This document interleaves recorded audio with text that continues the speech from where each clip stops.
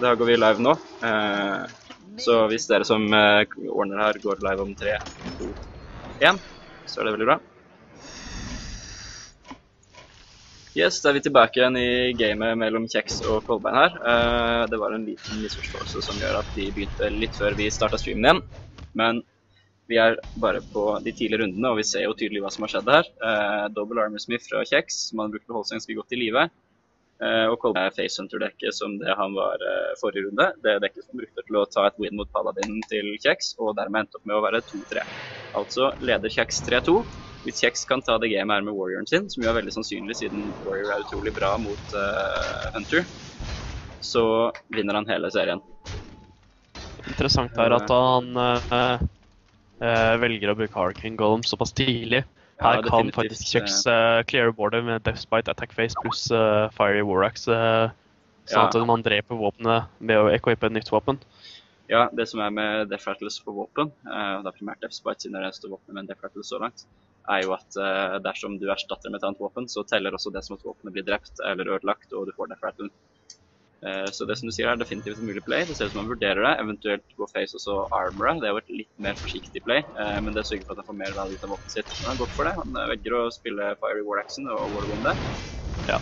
Han tåler ikke å ta sju bonus damage neste turn. Nei, han, har nok, han han har nok lært av forrige runde at han må passe på den damagen sin litt og for å begrense det. Ja. Og dessuten så er det ikke noe han trenger den til. Men han får nok like mye bruk for Fiery Warax.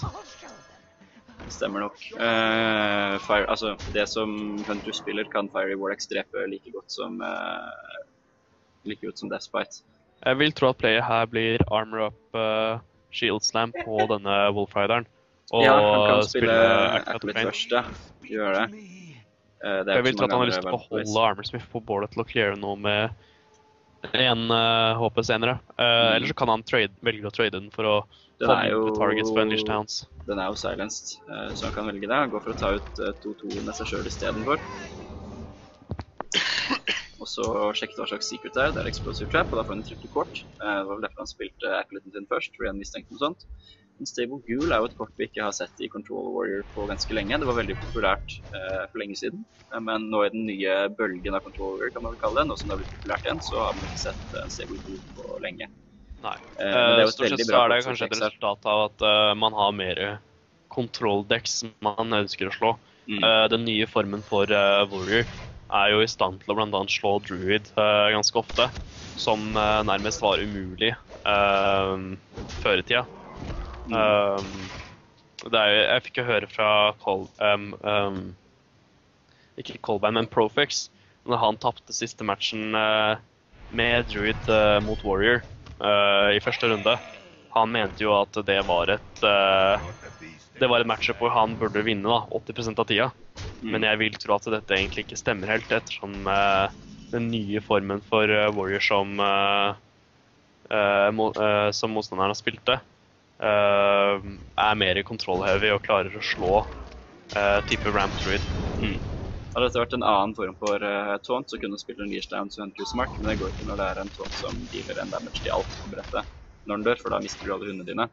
Så det er et veldig sterkt kort mot Hunter, og uh, sannsynligvis et kort som er lagt inn av den grunn at han uh, er vant til å møte mye Hunters.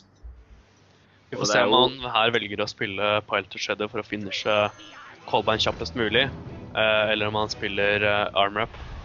Han velger å sørge for å få litt mer HP og tenker at eh, eh, hvis han ikke fjerner boardet mitt, så har jeg lethal neste turn uansett. Det er ikke i her. å Dersom Hunteren løper er til å fjerne boardet ditt, så ligger du uansett ofte godt an. Han kan spille en Leashed Hounds pluss Kill Command for å bli kvitt boardet nå. Men eh, det er jo ikke noe man vil som oftest eh, som Hunter, for da forsvinner jo all damagen du egentlig skal prøve å vinne gamet med. Ja.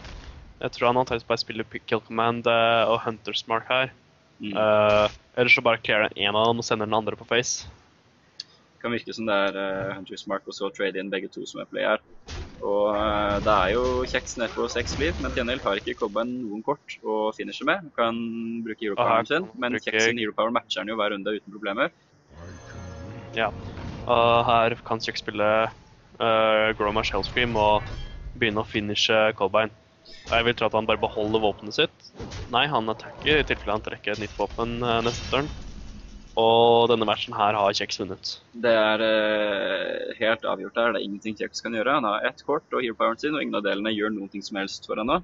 Nei. Dessverre Eh, for han traff han er ikke et, eh, Leroy Jenkins, som hadde faktisk vunnet denne matchen her for han. Det er sant. Det var nok det han håpet på. Eh, Det hadde vært utrolig bittert for Kjeks å tape til det, men det slapp han i dag. Det er altså eh, Kjeks som tar gamet med Control Warrior mot uh, Rush Hunter. Og det betyr at Kjeks uh, leder uh, 4-2. eh, og det betyr også at Kjeks har vunnet. Det er jo Yes. en best av sju det her, og det betyr at fire wins, da er det lost.